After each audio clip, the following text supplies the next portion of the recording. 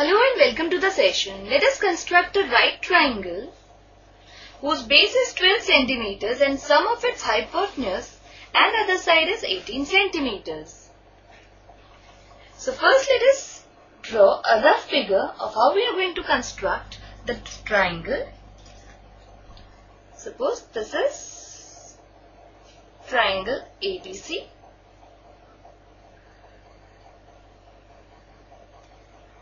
Here we are given that the base is 12 centimeters and AC plus AB is equal to 18 centimeters. So to construct this right triangle, we shall follow the construction 11.4 of your book which says to construct a triangle given its base, a base angle and the sum of other two sides. So let's see how we are going to proceed on with the construction. First we shall draw a ray BX. Then we shall mark a point C on it such that BC is equal to 12 centimeters. Then we shall draw angle YBC is equal to 90 degrees, then we shall mark a point D on it such that BD is equal to the sum of other two sides that is 18 centimeters. Then we shall join DC. Now we shall find the perpendicular bisector of line DC such that it intersects the line segment BD at a point A. So let this perpendicular bisector be PQ and in the last step we shall join A to C to get the required triangle. So this is the required triangle ABC such that AB plus AC is equal to 18 centimeters and the base is 12 centimeters. Now let us write the steps of construction and side by side construct the triangle.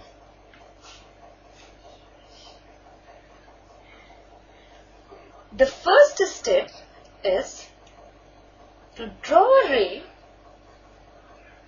BX and mark a point C on it such that BC is equal to 12 centimeters. So first we shall draw a ray BX and on it we will mark a point C such that BC is equal to 12 centimeters. Since it is not possible to draw 18 centimeters and 12 centimeters on this board. Therefore, you try it out yourself with proper measurements. Now, our second step is to construct angle Y BC is equal to 90 degrees with the help of a D or a protractor. So thus we have drawn angle YBC is equal to 90 degrees. Now we shall mark a point D on the ray BY such that BD is equal to 18 centimeters. So let us take a point D on this line such that BD is equal to 18 centimeters. In the next step, join DC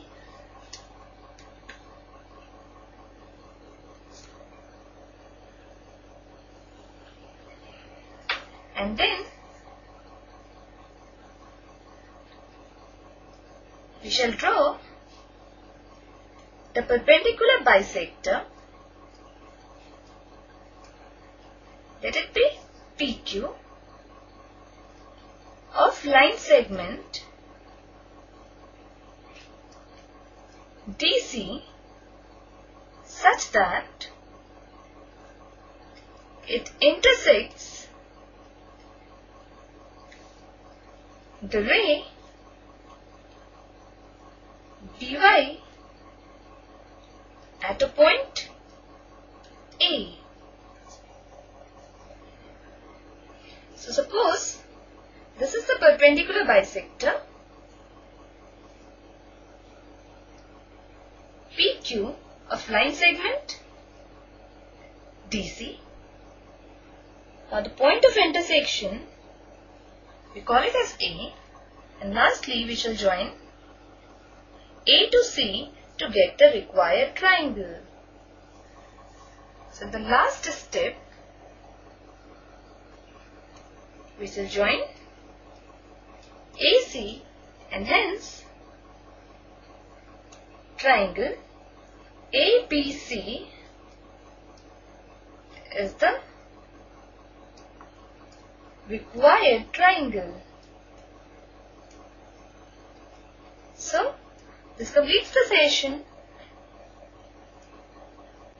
So, hope you have understood the construction. Take proper measurements while doing this construction of triangles.